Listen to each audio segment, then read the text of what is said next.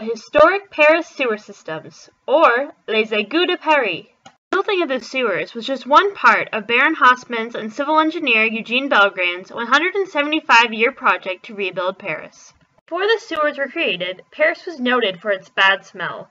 Human waste was thrown into the streets and much of the city's waste drained into the Seine River. Air conditions caused epidemics like cholera, chlamydia, the bubonic plague, hepatitis, and typhoid. This left the French with a desperate need to replace the unsuitable trough-style system. Sewers were constructed by tunneling through existing rock using gravity to run the fluids. The construction started in 1850. In just 20 years, over 500 kilometers of sewers were either in service or under construction. There was one sewer for each street by 1930. Napoleon III used ideas for the sewer that he had learned from what London had done after the Industrial Revolution, including digging techniques, separated water lines, and iron piping. This marked the beginning of industrial sewage treatment. The project was paid for by state-backed loans, and altogether it cost 2.5 billion francs for the renewal of the city of Paris.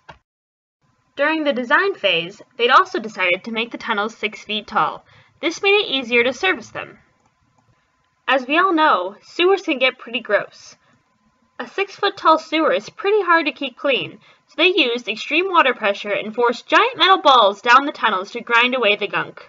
Paris has encountered many benefits. First is economic development and tourism. Starting in the mid-1800s, tours were given of the sections of the sewer. Sewermen gave the tours on the weekends. Today, tours are just as popular as ever. There is even a sewer museum in Paris. Sewers created a higher standard of living in Paris. The project quadrupled the number of homes with running water, and soon became the pride of Paris. Unfortunately, because no other city in the world has a sewer network like the one found in Paris, this leads to unique problems with expensive solutions. A lack of coverage beneath the city made it impossible for Paris to build up due to weight restrictions. The work was paid for and managed by the state, but the work was done by private entities. The state expropriated private buildings and land to rebuild the city of Paris, and were able to do so by saying it was for the good of the people. Also, the law of 1894 was passed. This prohibited throwing waste into the streets and stated that all waste must go to the sewers. The city was completing the transition from tout à la rue, all in the streets, to tout à l'égout, all in the sewer.